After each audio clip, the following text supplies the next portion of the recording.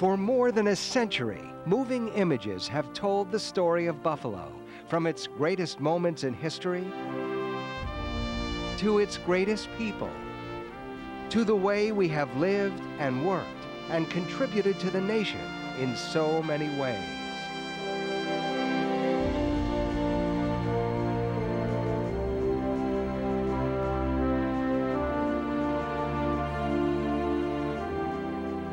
The early years of television news gathering in Buffalo set a standard for the nation, and the market is still second to none in capturing the drama of life.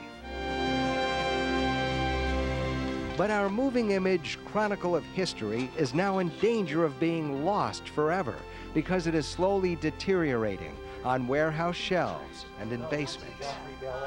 It's just sitting and we need to take it and, you know, get it so that people can see it, put it into a format where people will be able to look at it.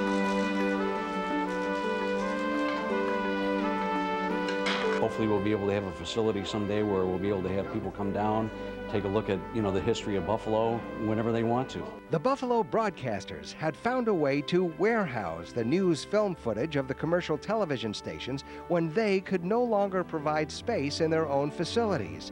Thousands of feet of film, beginning from the 1960s, when Buffalo and the nation went through one of the most dramatic periods of change ever, are now waiting to be rediscovered. And the Buffalo broadcasters are determined to make it happen. This is the, uh, the beginning of uh, the biggest phase of the uh, broadcasters that you know we've we've ever had. In June, the Buffalo broadcasters brought one of the nation's most prominent moving image archivists, Lisa Carter, to the warehouse on Elk Street to see the collection, examine its condition, and make some early recommendations.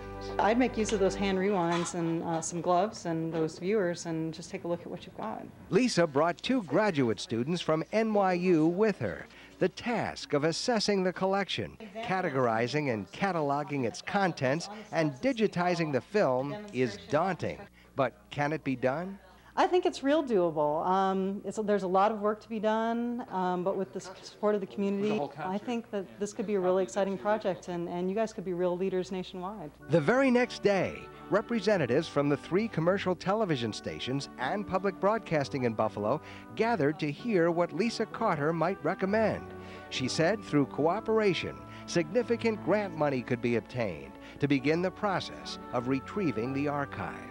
The Buffalo broadcasters are leading a collaboration here in Buffalo that is really going to make a difference um, nationally. It's going to make a difference to those grantors, but it's also going to make a difference as a model for other markets. The initial reaction was favorable. There's international demand for what we've got sitting at the stations and on pallets.